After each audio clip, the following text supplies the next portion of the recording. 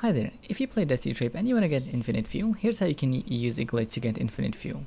Uh, you can use this glitch for anything, uh, gas, diesel, water, or oil. So here's what uh, you're going to need. So here you can see that um, uh, you'll need three different type of fuels. So I have gas, diesel, and oil, and I want to get infinite gas.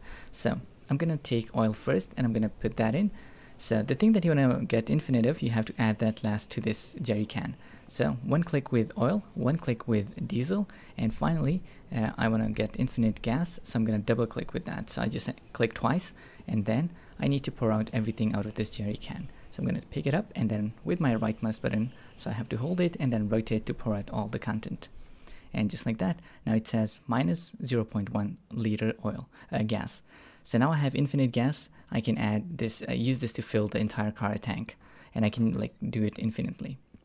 Let's just test that. Oh, there's a mutant. Okay, so I'm gonna put this and trick him by going around the home. Okay, so I tricked him and he's now waiting there on that edge.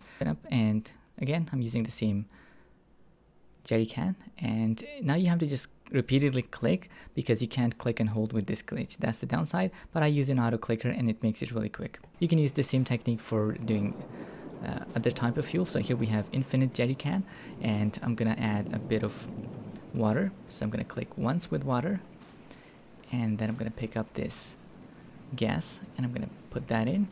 Oops, I clicked twice, but no worries. I can just click three times with my diesel. So I'm going to just three clicks with my diesel. So that is the most amount added to the jerry can. And then I just pour out all the content. Left click, uh, actually hold right click and then pour out all the content. And just like that. So now we have infinite diesel.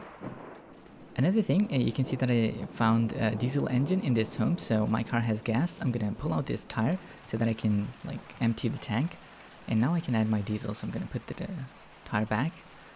And just like that, you can see the tank is empty and I can start adding the diesel, so the infinite diesel. I'm gonna just uh, turn on my auto clicker.